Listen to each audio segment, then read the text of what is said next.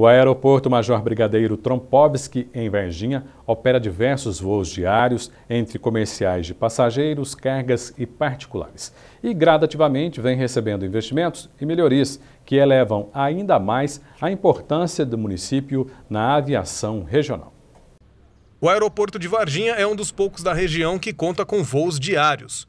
O principal trajeto é até Belo Horizonte, onde o passageiro pode fazer conexões para qualquer lugar do Brasil e do mundo.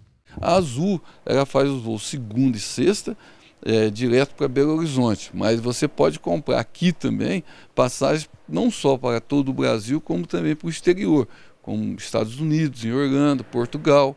Ele pode comprar aqui, você já vai, faz só a conexão na capital, em Belo Horizonte, e vai. E temos os voos de segunda a sexta da, da Codemig, esses voos da Codemig também é de manhã e à tarde todos direto para Belo Horizonte. Estamos trabalhando, esperamos apresentar logo para o pessoal do Sul Mineiro uns voos para São Paulo também.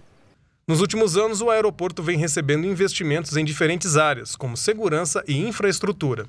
Nós estamos trabalhando muito para poder implantar o aeroporto de cargas. Já estamos bem avançados nas negociações com algumas empresas aí. E, e na parte de, de, passageiros, nós recebemos uma doação do governo federal, no próximo dia 28 agora de fevereiro, vai ser instalado um aparelho de raio-x e um pórtico, isso no valor de 170 e 180 mil reais. Né? E também há previsão, até no meio do ano, em junho parece, de uma instalação de uma estação meteorológica automática. E essa estação é em torno aí de 480 mil euros. Então, em torno de 2 milhões e 400 mil, mais ou menos. Né? Então, essa é, um, é tudo coisas que a conquista que o aeroporto teve do governo federal, é, apostando muito no nosso aeroporto, sabe?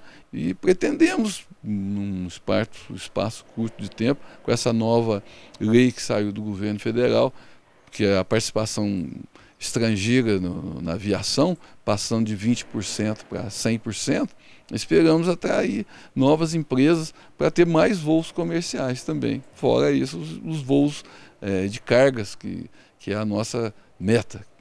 O diretor reforça que um aeroporto na cidade facilita a vida de todo mundo, dos turistas e dos varginhenses. O aeroporto é crucial, ele é muito importante nessa, nessa conjuntura, né? faz muita é, parceria com a administração do aeroporto. Faz, porque o aeroporto ele atrai investimentos, é, empresários, é, empresas com empresários, com empresário, ele prefere deslocar das capitais, das outras cidades de avião, que ganha tempo. Um, uma viagem de São Paulo a Varginha, ele faz e, via rodovia 5 horas, 6 horas, via aérea 40 minutos, 30 minutos. Então, essa vantagem o aeroporto traz para as outras cidades. O diferencial de Varginha em relação às outras cidades, um dos diferenciais é o aeroporto.